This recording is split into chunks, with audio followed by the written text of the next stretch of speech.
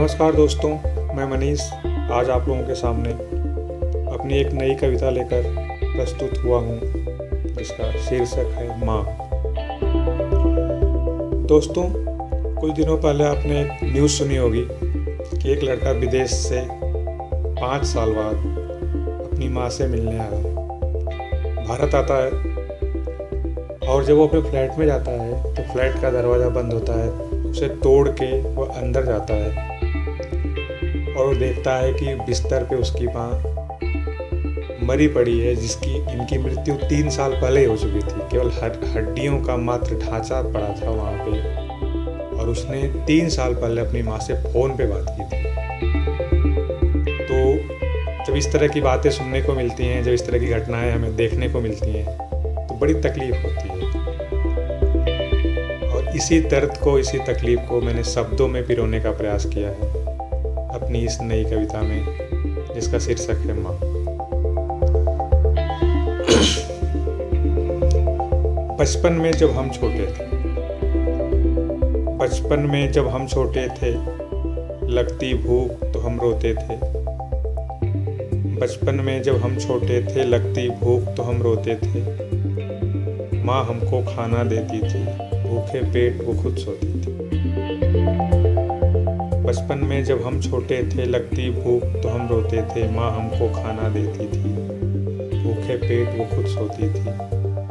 बचपन में जब हम छोटे थे, जल्दी जल्दी बीमार होते थे। माँ सिर पे पट्टी रखती थी। तेलों की मालिश करती थी।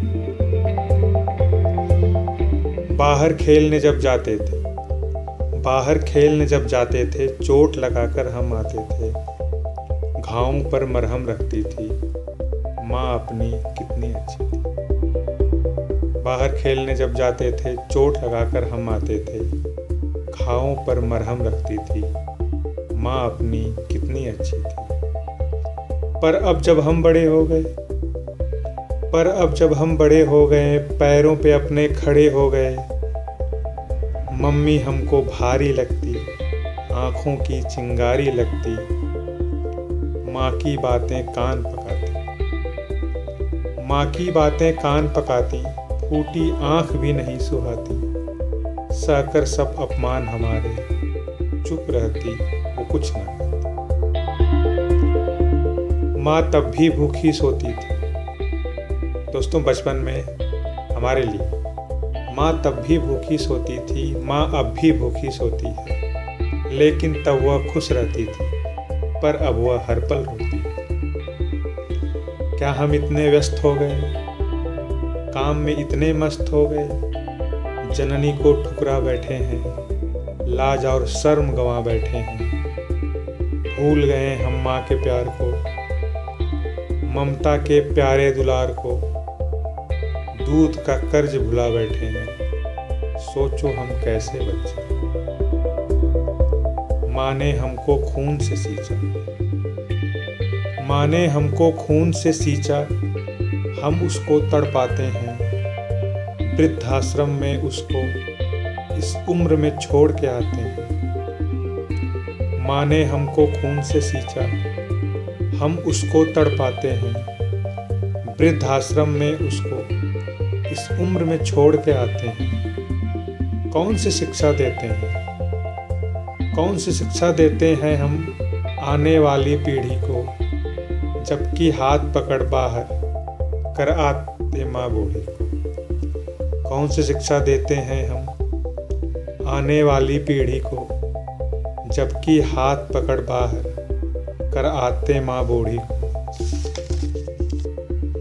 घी का दीपक रोज जलाते, घी का दीपक रोज जलाते, जाकर हम देवालय में और माँ अपनी बैठ के रोती दिन भर अनाथालय घी का दीपक रोज जलाते, जाकर हम देवालय में।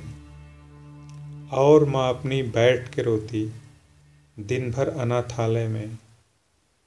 वह माँ वह माँ जो अपने बच्चों के लिए जान दे सकती है। वह माँ जो अपने बच्चों के लिए जान दे सकती है। और बुढ़ापे में बच्चों के प्यार के लिए तरसती वह माँ जो अपने बच्चों के लिए जान दे सकती है, आज बुढ़ापे में बच्चों के प्यार के लिए तरसती है। कहता हूँ मैं बहुत हो चुका कहता हूँ मैं बहुत हो चुका माँ को अब अपनाओ तुम। कर देगी वो क्षमा तुम्हें। बस पास में उसके जाओ तुम। सुन रखा है मैंने सुन रखा है मैंने मानव कर्म के फल को पाता है। जो जैसी खेती करता है, वैसी फ़सल उगाता है। सुन रखा है मैंने मानव कर्म के फल को पाता है। जो जैसी खेती करता है, वैसी फ़सल उगाता है। घर में माँ की सेवा कर लो। घर में माँ की सेवा कर लो, भाग्य तेरा जग जाएगा। चार धाम की यात्रा का भी पुण्य तुझे मिल जाएगा। चार धाम की यात्रा का भी पुण्य तुझे मिल जाएगा। धन्यवाद दोस्तों। प्लीज़ कमेंट करिए, कैसे लगी आपको ये पोएम